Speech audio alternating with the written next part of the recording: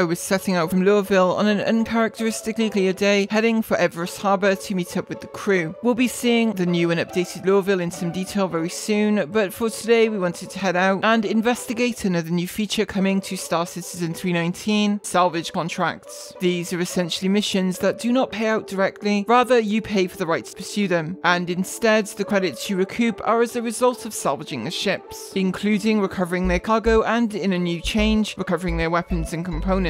That new change can also be used to hot swap or fit weapons to your own ships out in the field, and also makes almost any ship a capable salvage vessel, depending on its cargo space. I've been flying the Kepler a lot lately, and I feel like I'm getting the hang of it. I hope to become such an expert with the ships I like. Oh, I definitely wouldn't call myself an expert.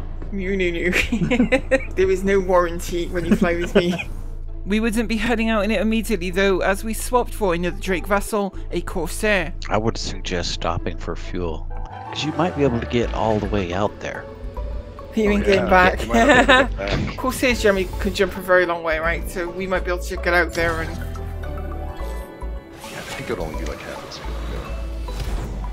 the contract we'd taken on was an illegal salvaging of a battlefield. It was a huge distance from us, and the buy-in was 150,000 credits. We had no idea what to expect, but we were excited to start pulling weapons and components from the wrecks. I seriously don't think people will pay the 150k to find out what's out Well, there. it's PTU, isn't it? You know? So you never know. Our understanding of these high cost, unlawful contracts is that they are open to any and all players to try and claim. This meant that while we were out there, we could encounter other players looking to profit from the wreck site. It was also possible, as the mission kind of implied, that hostile NPC ships might descend upon us as we picked apart the remains of their friends and vanquished enemies. Just over 10 minutes up for this jump, just so you know and the battle seemed to have occurred a considerable distance from the orbital plane as well. Still, before we knew it, we'd arrived. Hey, look at it. Look at all this stuff. Oh, we got ships. I don't see any players. Constellation Andromeda. Andromeda, Freelancer, and a Carrack. Oh, there's a um, there's a marker that says remaining salvage, salvage the battlefield. Oh yeah, look at that. So is there a Is bonus there a that limit? you get for finishing this or something?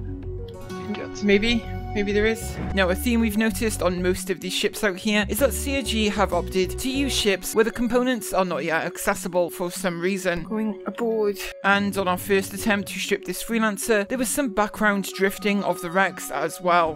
We are still floating away from it. Wait, what? We are moving. Well, something's I'll moving. get I'll get into the pilot's Okay, cool. exit. Oh, it's still moving. We'd move on to a Carrack wreck to see if the same drift was occurring here as well. It wasn't a major obstacle really, but documenting these things for science is sometimes useful. Wait, are you moving now? Because it is moving now. No, I'm not moving. I don't know what's going on. But I had an idea on getting aboard. It's moving away from us right now, so if we go to the other side, it might it might just drift towards me. I'm jumping out now. Okay, oh, it's coming, it's moving quite quickly. I'm in line to get on top of it though. Okay, it stopped moving for some reason. Okay, it does have a physics grid on top. It is moving. This thing is definitely moving. I can see it moving, like from on board. Yeah, yeah, it's slowly drifting. I'm gonna go inside and see if I can unlock the components. Yep. Hab deck. Elevator works. it's like smoke monster from Lost is in in front of the um, medical bay. In order for components or weapons to be removed from the ship, the item ports for the ship need to be unlocked. There's a new keybind, and as this was our first time trying it on an unpowered ship, I had no idea if it had worked or not. I didn't get any warnings or anything, but I'm assuming it's because it's powered down. I'm gonna have to blow this door open with the Okay, I can see the guns now. Now, on this first attempt, the keybind to unlock the item ports had seemingly not worked, but there is another way to unlock these items for collection, soft death of the ship itself. Okay, go ahead and soft death this thing. Yeah, uh, that's a good call. It, it's not moving.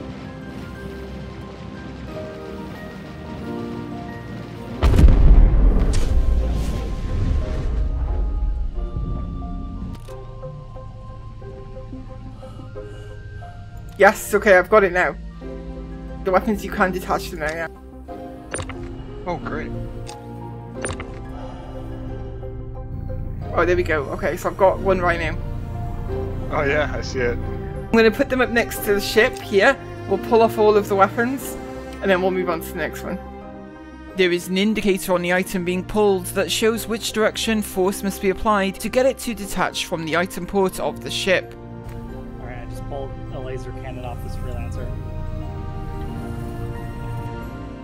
Before long, we had a nice collection of rhinos ready to be loaded onto our Corsair, and Arathorn was inbound to pick them up. If you keep backing up, I'll let you know when to stop.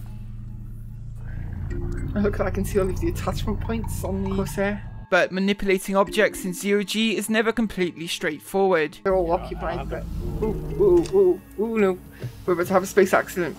I bumped into a gun while I was tractor beaming. I see. I- I think we're okay. gun's spinning. yeah. looks like it. Go and take a look. But now we have a cargo bay full of rhinos. If you're walking by your ship in the hangar or at when they're on display. Yeah, lights are on. But at this present moment, the physics of such objects lying in the back of a ship or stacking atop each other is still quite problematic and prone to freaking out.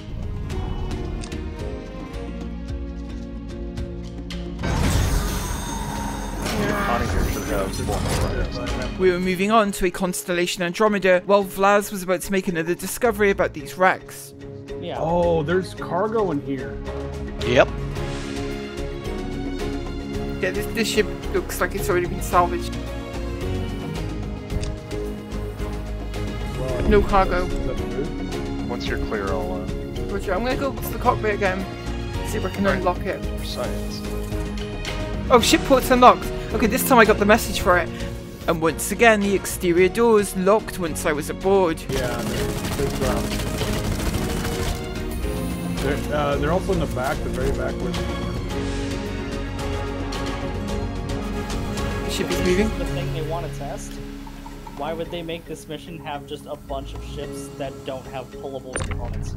For now, we'd only be taking the four rhinos from this Connie. We'd learned some tricks on getting more out of them in future, but at this time we were not sure how much functionality remained in these husks.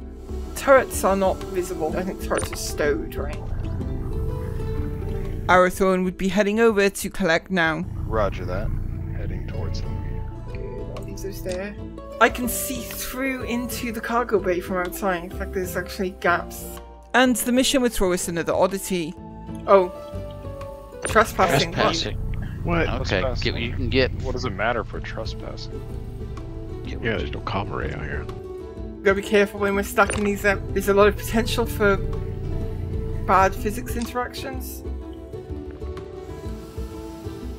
I should get out of the way.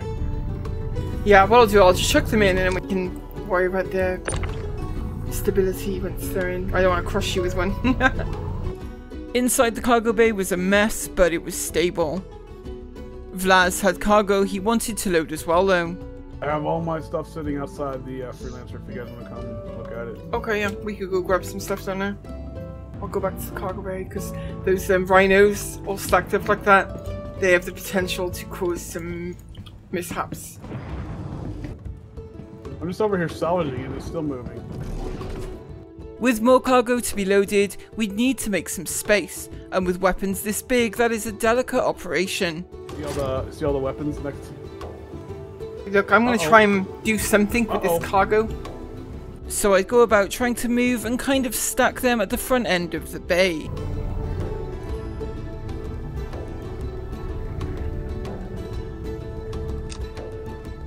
They're more stable.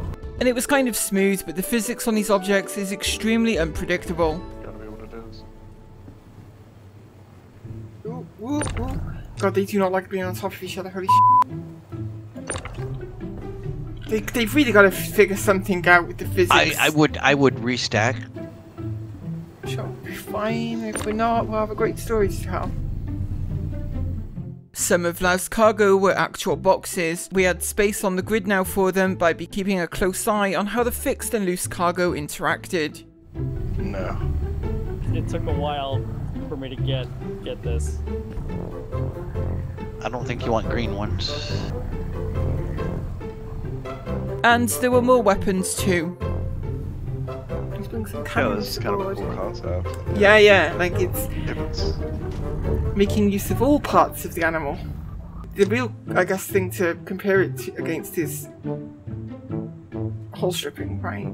Grab mhm. that one and move it, because that's it's a very rebellious rhino, this one. Damn, we got a lot of boxes back here, like a lot.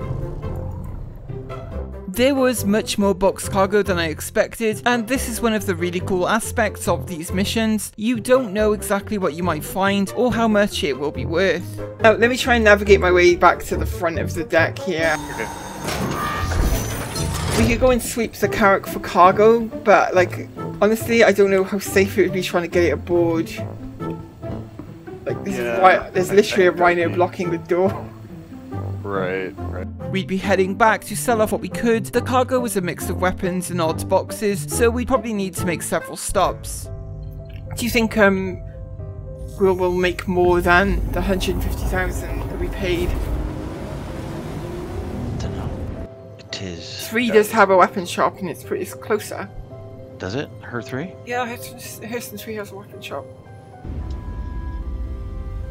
Let's see what four M5As go for. I, I've got badgers, M5As, a lot of rhinos, and the dregs. You got a lot of drugs. That's where all your money's coming from. The whole CCOE TAM. Hello. What was fun about that, like from my perspective, was like that you've got to like, go into the ship and like, you know, flashlight on and go up and unlock everything and come out, and it's it felt faster than hull stripping for sure. At Hurston L3 station, we could find a weapon store that would buy our salvaged weapons.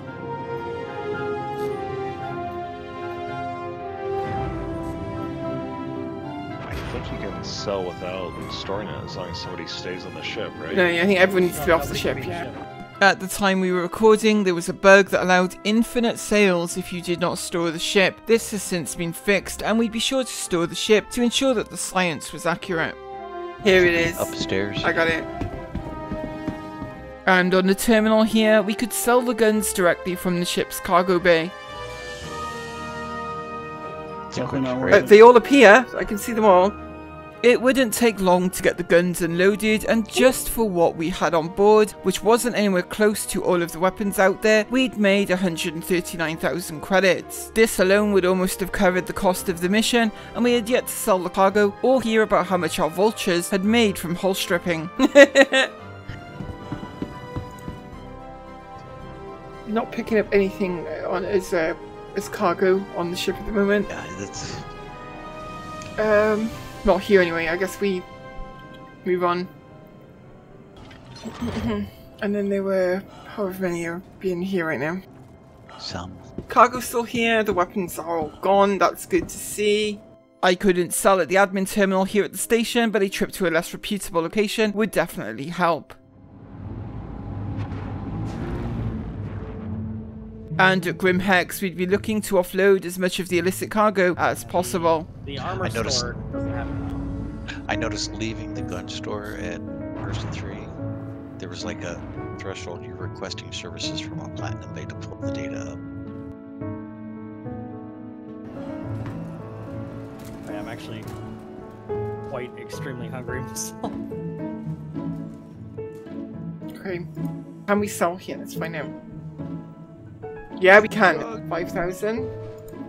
11,000. Ooh, 90,000. What? Maze is so crazy. So 95,000. The stims and still spirits is not really worth all that much. That literally less sub 1,000. Um. So we're making about 110k extra from selling off the drugs that we found. Oh wow. So these missions are clearly very profitable. We didn't encounter any resistance this time out, but we'd be visiting all of the contracts in more detail in the coming days. And this time in the Caterpillar, which has enormously more storage space and ease of loading. How will we fare? Join us next time to find out. As always, I want to thank all of you at home for watching and all of our amazing patrons who you can see on screen right now. Thank you all for your very generous support of the channel. You guys make this channel possible. And in this video, I'm especially thanking Juicebox343, who recently became a backer of the channel over on Patreon. Thank you, Juicebox, for your generosity and for your support of the channel. I am enormously grateful. Thank you. There was a big gap between this video and the previous videos because of Jumptown running this weekend, but there will be a mammoth epic Jumptown video coming featuring many different task forces and members of the org, as it was nice to get everyone pulling together after Skunkopoly against a common enemy. We'll be back with more very soon.